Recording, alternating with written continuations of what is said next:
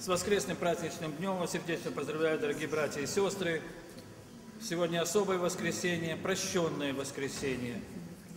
Сегодня в 16.00 э, в церкви пройдет у нас в храме чин прощения. И мы с вами понимаем, что начинается какое-то особое время для нас с вами. С понедельника начинается Великий пост.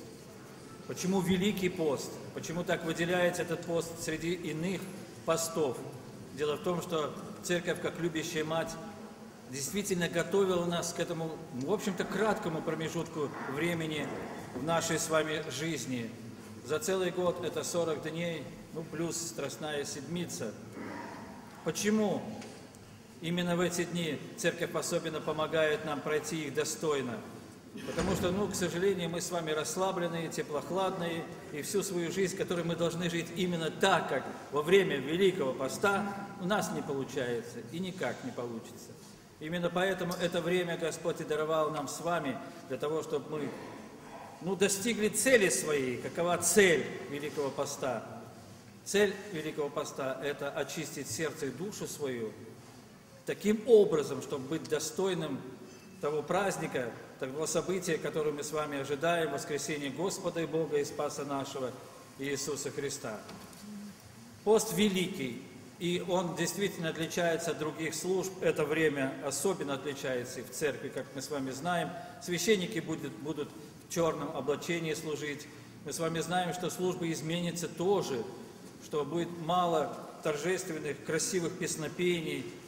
В основном это будет чтение, Колокольный звон уже не будет такой красивый перезвон, а это будет действительно монотонные удары колокола, и света не будет вот этого яркого электрического от паникадил, а только при свечах мы чаще всего будем с вами служить. Для чего это?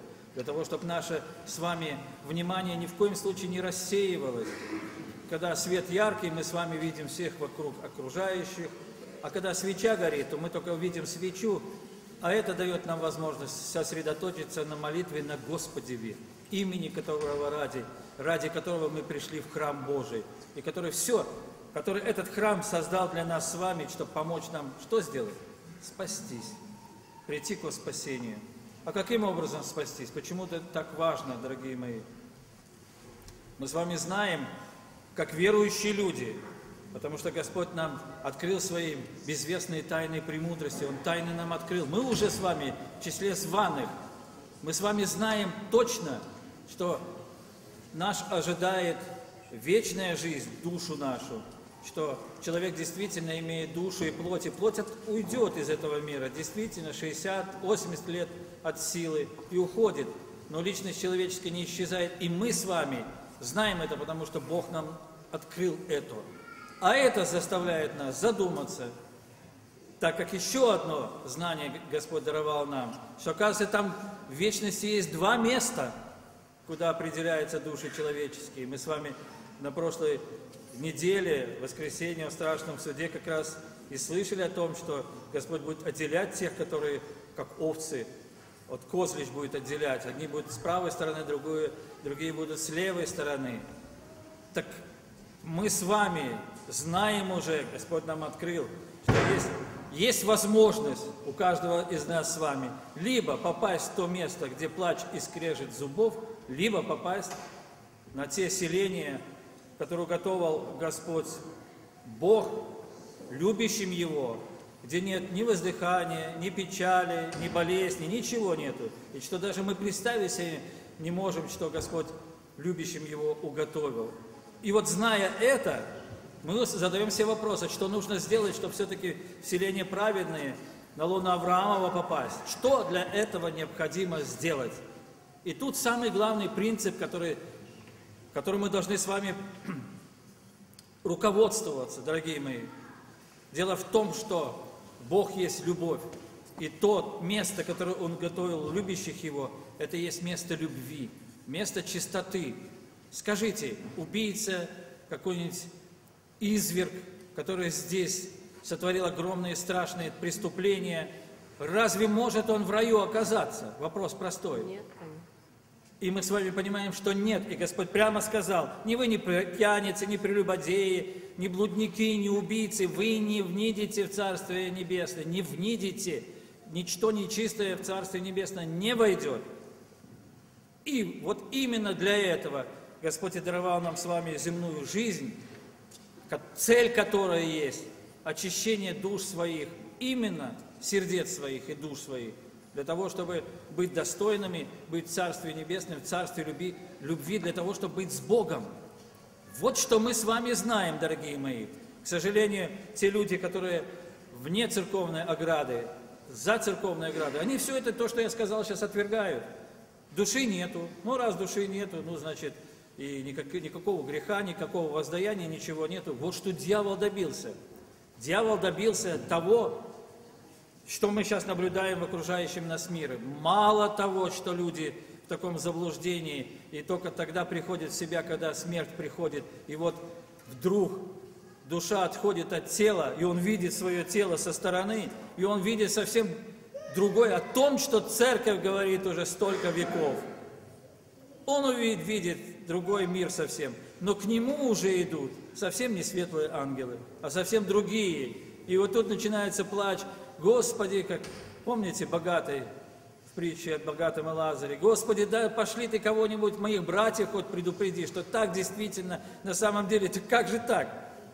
Да мы же все время говорим, пророки к вам приходили, Церковь Христова существует, и она говорит о том своем опыте, потому что, родные мои, мы с вами основываем вот свои убеждения эти не на гадании, не на каком ни гадании, на знании, на твердом знании, что да, так оно и есть. Откуда знание это берется у нас с вами, родные мои?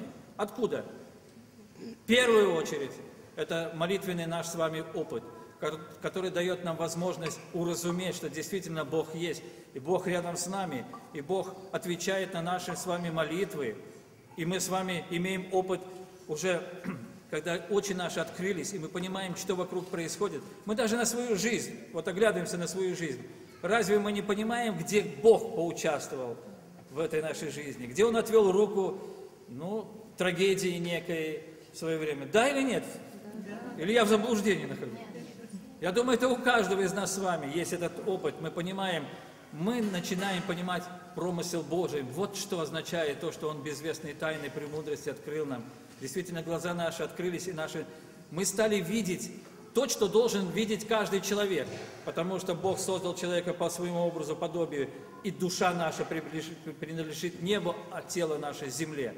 И Полноценный, нормальный человек – это тот, который живет и духовной жизнью, и жизнью мирской. Правильно, это так должно быть. Таковыми нас сотворил Господь Бог.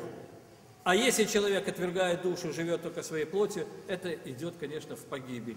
Это ведет человека в погибель. Вот это время Великого Поста, Великого Поста, который, родные мои, еще называется Святой Четыредесятницей.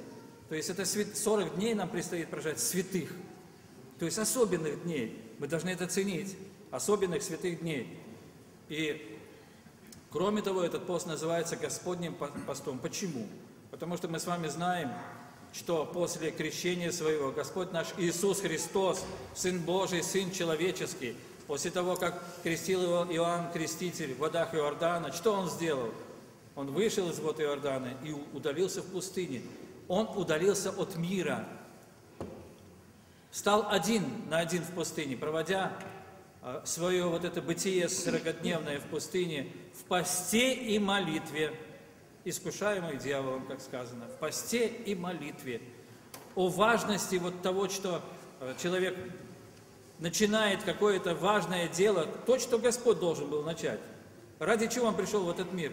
Он принес в мир благую весть, весть, Слово Свое, чтобы открыть нам глаза людям, глаза, которые дьявол сомкнул, чтобы открыть на все то, что происходит вокруг нас, открыть наши глаза, людей глаза, на то, что существует и душа человеков, что этот мир сотворен Отцом Небесным, Богом, удивительно сотворен. И, конечно же, сотворен каждый, каждое живое существо, и человек также сотворен Господом. Но Он сотворил не, человек не для того, по, свой, по образу и подобию Божию, чтобы просто-напросто 60-80 лет от силы прожить и все в землю уйти, и все пропало. Да не для этого, а для вечной жизни.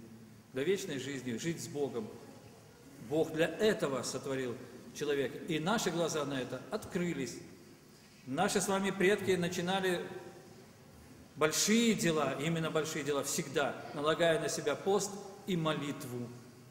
И о важности поста и молитвы сам Господь сказал. Помните, когда ученики сказали, спросили его, Господи, что ж мы не могли а, лукавого дьявола, бесов изгнать из одного из людей? Да? Помните?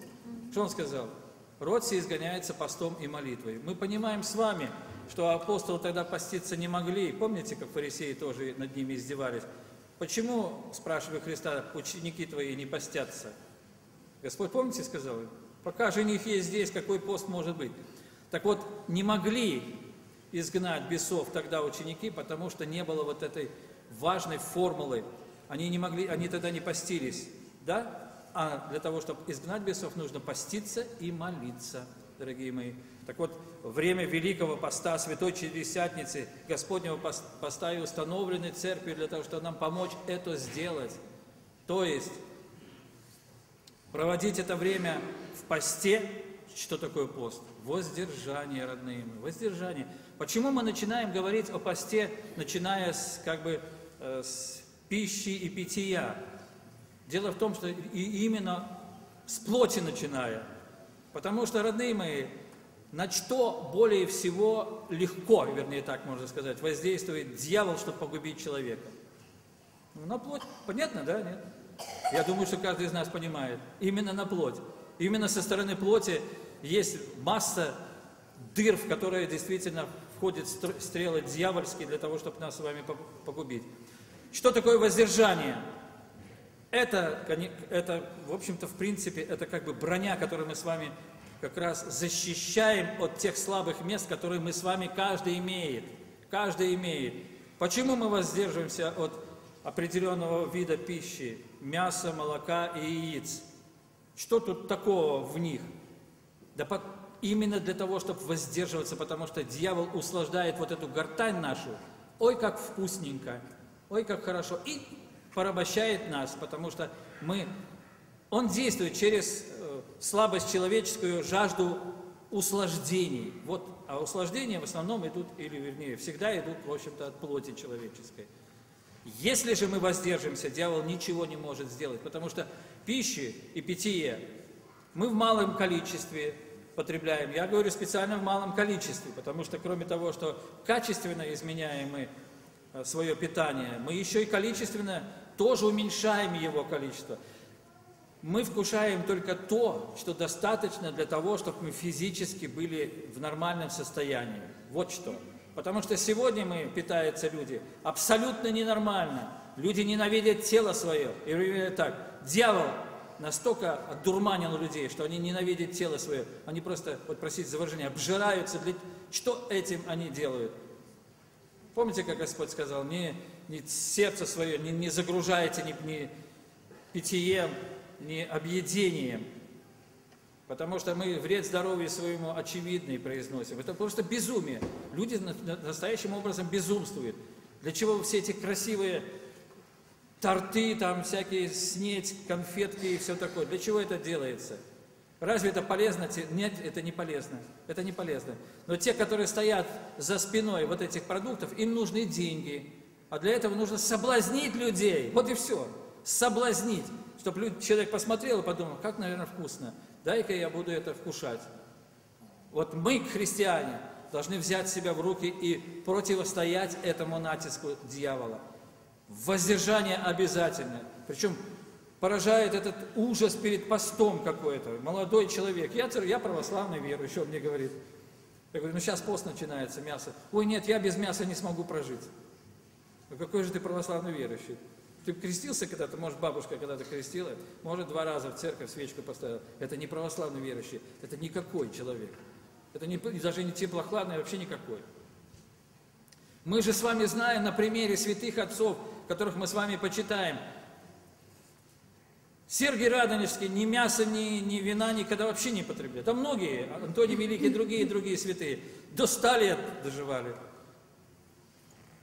И где вы видели в монастыре, где мяса вообще не бывает, монахов полумертвых ходящих. Где вы видели такое? Посмотрите на все монастыри. Да они работают физически больше, чем любой из нас с вами.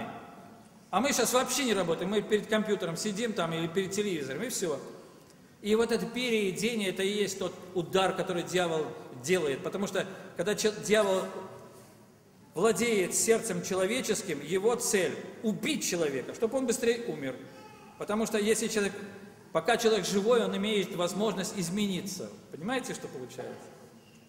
Как бы человек далече не был в стране далекой, как бы далеко от Бога не ушел от церкви, он имеет возможность вернуться, и Бог примет его в свои объятия.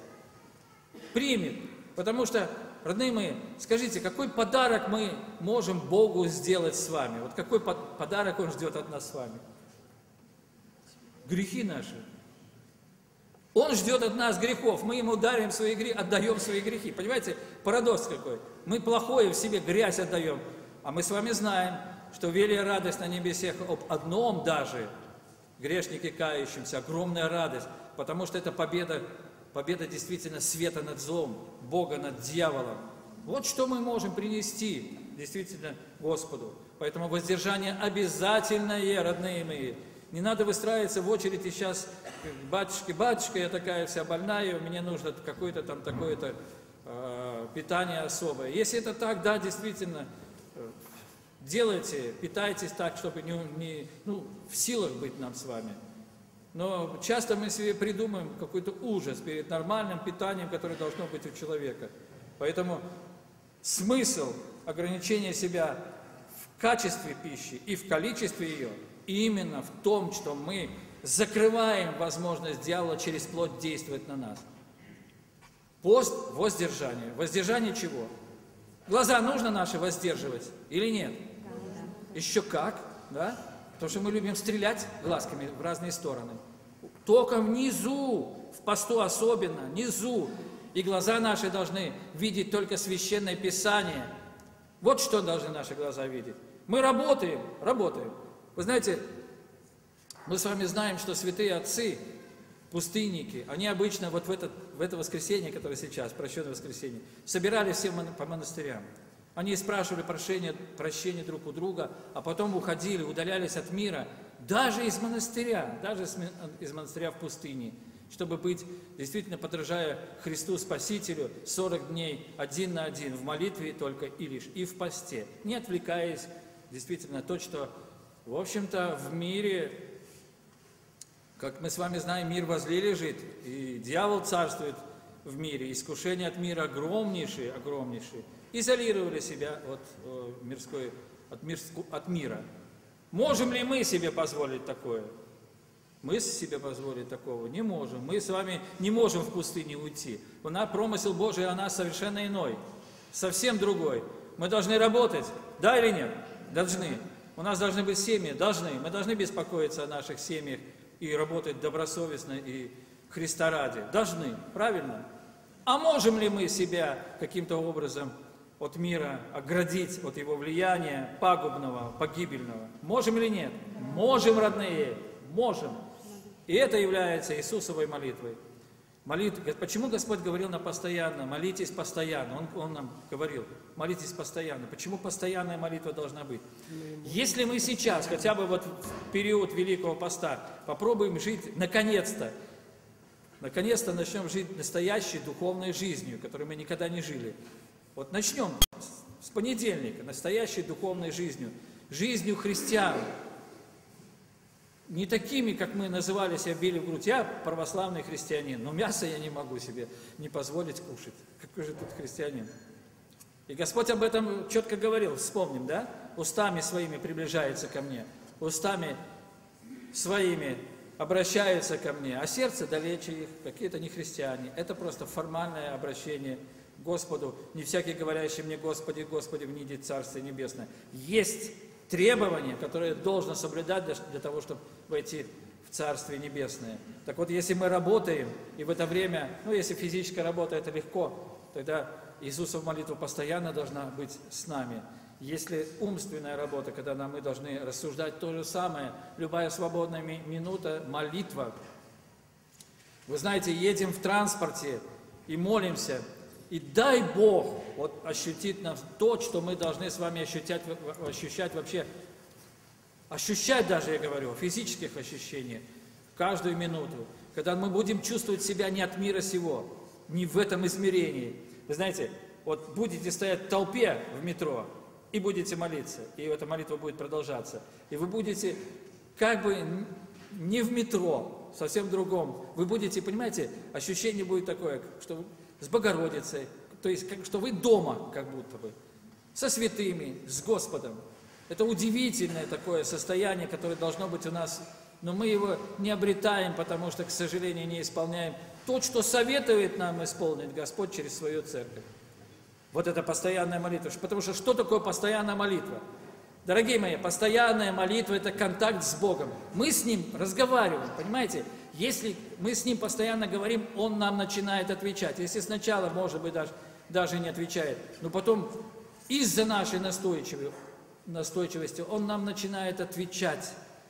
И вот тогда получается важный момент. Дьявол уже к нам не подступится, где идет диалог, разговор Бога с человеком к сердцу и к душе человеческой. Не подступится он. Тогда мы, получается, с Богом. Вот тогда получится это, может, субъективное ощущение, а может быть даже объективное ощущение нашего бытия в гуще людей, но не от мира сего мы будем находиться, так как мы и должны быть. Можно быть, действительно, отрешиться от мирского, даже работая, даже учась, даже имея большие семьи, имея хлопоты и заботы о своих семьях. Поэтому основное, основное делание во время Великого Поста – это воздержание, это молитва, это пост и, конечно же, покаяние, то, что нам не, с вами необходимо. Покаяние тоже лукавый боится. От него, когда, если мы заплачем, если Бог дарует нам такое счастье, чтобы слезы наконец-то в наших жестоких сердец излились, слезы покаяния. А ведь церковь все делает для того, чтобы этого, помочь нам в этом, помочь нам в этом. Вот в понедельник начинается 4 вечера чтение покаянного канона Андрея Критского. Кто постоянно входит на этот канон, знает, насколько сильный он, насколько он помогает прийти в свои в чувства себя, привести в чувство себя, насколько он помогает отрешиться от мира, от того, что нас притягивает, затянуло, как в тину, как в болото насколько он важен, этот э, канон Андрея Критского. Хотя бы один раз человек обязан, православный христианин, побывать на, на чтении канона Андрея Критского, который будет вот эти первые четыре дня на следующей седмице Великого Поста. Я сказал о том, что должно быть воздержание. Воздержание глаз своих, которые мы должны отводить от нечистого, ушей своих. Если на работе начинается обсуждение, рассуждение Блажен муж, и же не идет на совет нечестивых. Уходите, уходите. Не надо говорить, вот вы такие сики, я православная, я там э, воздерживаюсь от осуждения. Вернее, надо это говорить, но не с осуждением, а как совет. Как Господь нам с вами. Он нам не приказывает. Он говорит о том, что есть правда, а что есть неправда. Он говорит нам то, что ведет нас к спасению, к вечности жизни, и говорит о том, что нас не ведет туда, не приказывает. Мы имеем свободный выбор, так или так поступить. Точно так же и вы. Если вы разговариваете со своими сослуживцами, не кричите, не обличайте, потому что иначе мы становимся фарисеями. Вот я. То есть тогда получается, я хочу сказать о том, что я пощусь, я выдерживаю все, а на самом деле не, не сильно не очень сильно. Но скажу обязательно, пост сейчас, что вы тут делаете так беззаконно, так сказать, беззаконие творите. Сказать об этом нужно, что нужно воздерживаться. И родным своим, конечно. Родные часто не слушают нас с вами. Выпадает день рождения на постное время, и мы мучаемся, что нам делать. Поздравлять. Если люди церковные, они все равно скромно это э, проведут. Проведут. Без плясок и без песен. Постный стол Тут, тут ничего такого нету. Господь дал родиться человеку именно в посту. И это радость велия для человека, и для родных тем более. Да? А если родные неверующие, и у нас получается, что нам делать, обидеть или не обидеть, не надо бежать. Надо прийти на, на этот праздник. Бывают даже трагедии, я считаю, когда связь свадьбы устраивают в посту, что не, нельзя делать. Но если это не сделали, наше остается дело только молиться о тех, кто в таком заблуждении. Господи, приведи их в разум, чтобы поняли, что это неправильно. И приходим на их праздник. До того, как они начнут плясать и петь. Вот до этого момента. Постное что-нибудь мы можем на столе найти. Обижать не надо людей. Не надо выхвалять себя. Вот сегодняшнее Евангелие четко совершенно сказал. Не делайте вы вид унылый. Это так фарисеи делали. Пеплом голову. Грязные ходили, пеплом голову там посыпали свою. Ах, я постящийся. И все говорили, вот, ой, какой он постящийся. И Господь прямо сказал, а они уже на земле получили свою награду. Их все, так сказать, прославляют. Но на небесах награды-то не будет. Не будет.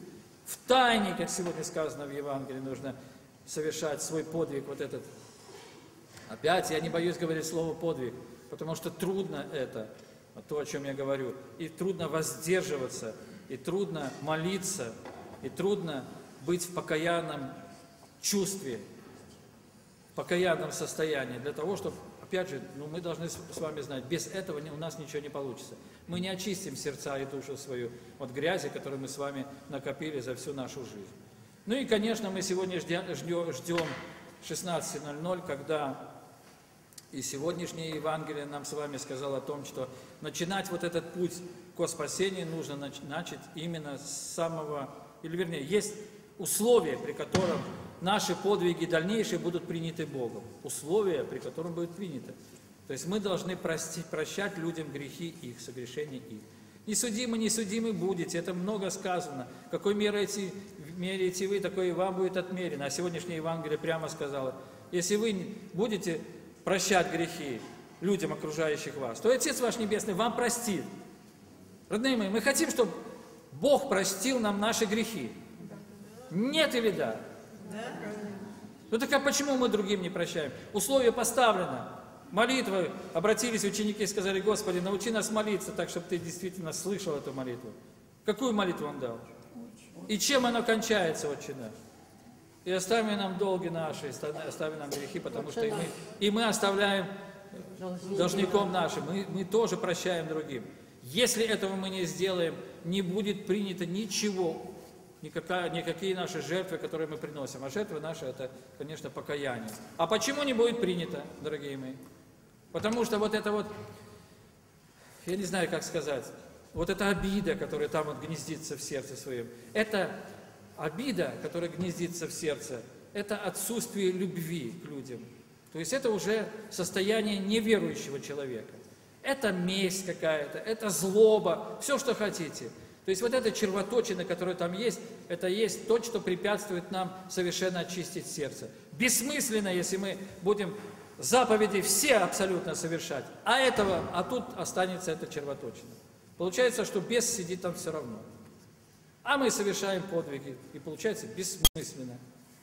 Вот подумаем об этом, родные мои, у нас еще время до 4 часов есть, чтобы воистину вспомнить всех, кого мы там обидели, и кто нас обидел, и на кого мы обиду здесь в сердце своем держим.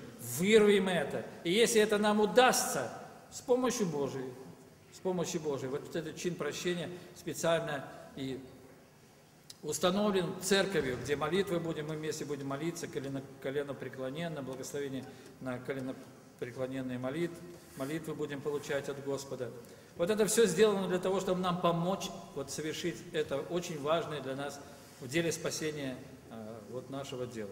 Поэтому, родные мои, ну еще вкратце просто скажу, что значит воздержание. Все развлекательные программы, понятно, убираем. Мы, понимаете, я хочу сказать, что мы увидим, насколько мы станем свободными, дорогие мои. Сделайте этот эксперимент с собой. Только лишь, но ну, это для Программа. многих вот здесь стоящих, которые долго уже в церкви, для них это ерунда, правильно? Я согласен. Это ерунда. Но вот там молодежь у нас стоит. Ну, Поэтому я часто говорю, обращаюсь, в общем-то, к той аудитории. Вы-то все знаете. Даже что, что я говорю, вы знаете, даже знаете, что я наперед скажу. Наперед знаете, что я скажу. А вот ребята молодые, которые там, их все смущает. Им-то про другое говорят. Им-то говорят, что нет, это все глупость церкви. э, там рассуждает и тому подобное. Именно поэтому я и говорю, воздержание совершенное, никаких развлекательных мероприятий, как было когда-то в дореволюционной России. Все театры закрывались, наступал пост. Ну, в последние времена в России это тоже не было. К сожалению, к этому и привела революция, революция, и поэтому и случилось, к сожалению. Вот это воздержание. А это время мы должны потратить действительно на богоугодные дела. То есть не только не делание, а и делание благих дел, дела милосердия. Это обязательно должно в посту совершаться. Это время для этого, потому что если мы помогаем какому-то человеку, отражается вот здесь у нас, на нас отражается. Удивительно, мы, мы ему помогаем, а наше сердце очищается и радуется тому, что... Потому что эта помощь бескорыстная наша, она вытесняет ту гадость, которая у нас есть. Дьявол выскакивает, выскакивает из нашего сердца.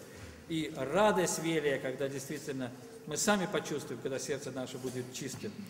Вот я хотел бы это сказать вам. И, Господи, помогай нам в прохождении Великого Поста. Хотя, в общем-то, Господи, нас не оставляй и в течение нашей жизни, потому что мы и в- вне Великого Поста должны именно такой христианской, настоящей, верующей, духовной жизнью жить. Спаси и сохрани вас, Господь. До 16.00.